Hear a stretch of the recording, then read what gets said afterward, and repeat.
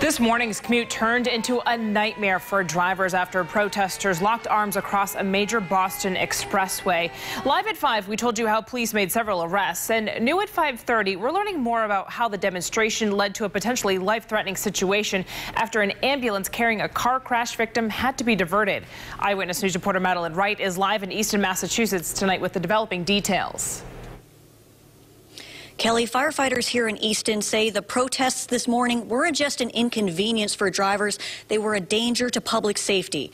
Easton Fire Chief Kevin Partridge says because of protesters blocking the highway, an 83-year-old man who needed to get to Boston Medical Center couldn't get there in a reasonable amount of time. The driver had just been in a car accident in Brockton and had serious injuries. Partridge says medics were aware of the traffic backup on 93, so they diverted his ambulance to Good Samaritan Medical Center in Brockton.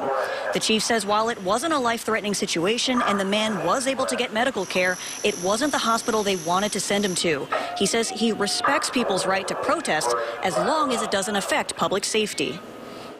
They have a right to protest, but they can protest in other ways in different locations. They shouldn't do it to shut down the highway. It's illegal. It's wrong. They caused a problem for us and this gentleman that was in the car accident, and I'm sure to I, I know it affected a lot of other people in the same way, including another ambulance that needed to divert. The chief says the man involved in the car accident this morning ran off the road on Canton Street, possibly due to icy conditions, and hit several trees. They needed the jaws of life to get him out of his vehicle. And at last check, he was at Mass General Hospital where he was transferred, and the chief says he's doing in, in okay condition tonight. Live in Brockton with the mobile newsroom, Madeline Wright, Eyewitness News.